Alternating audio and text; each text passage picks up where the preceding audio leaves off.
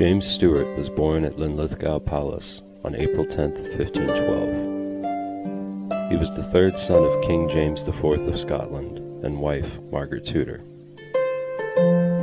He became king at just 17 months old when his father was killed at the Battle of Flodden on September 9, 1513.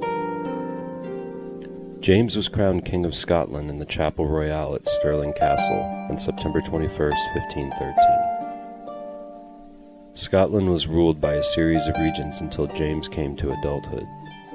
Among them, his mother Margaret Tudor, and then John Stuart, 2nd Duke of Albany. James said goodbye to his childhood at the age of 12. God save King James V.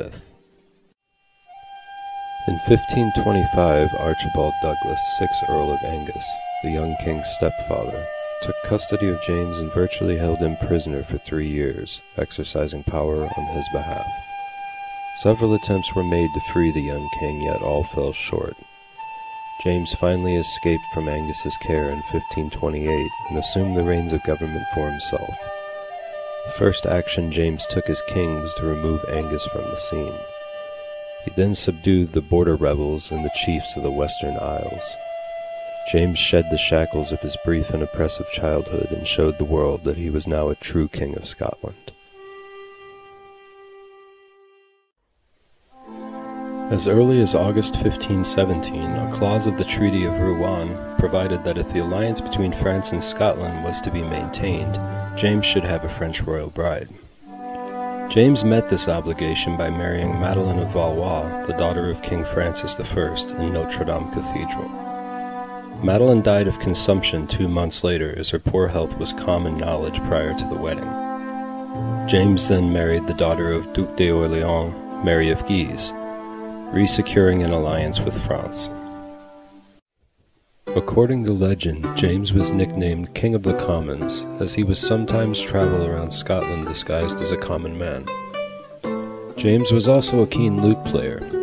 In 1562, Sir Thomas Wood reported that James had a singular good ear and could sing that he had never seen before. James also attracted the attention of international authors. The French poet Pierre de Ronsard, who had been a page of Madeleine of Valois, offered unqualified praise. His royal bearing and vigorous pursuit of virtue, of honor and of love's war, his sweetness and strength illuminate his face as if he were the child of Venus and Mars. The death of James's mother, Margaret Tudor, in 1541 removed any incentive for peace with England and war broke out. Initially, the Scots won a victory at the Battle of Haddon Rig in August 1542, until King Henry VIII of England invaded Scotland. James had hoped to invade England, however, he returned to Edinburgh, on the way writing a letter in French to his wife mentioning that he had three days of illness. The next month, his army suffered a serious defeat at the Battle of Solway Moss. James took ill shortly after the battle. By some accounts, this was a nervous collapse caused by the defeat. He may have died from grief, although some historians consider that it may have just been an ordinary fever. John Knox later describes his final moments in life. Before he died, he is reported to have said, It began with a girl, and it will end with a girl.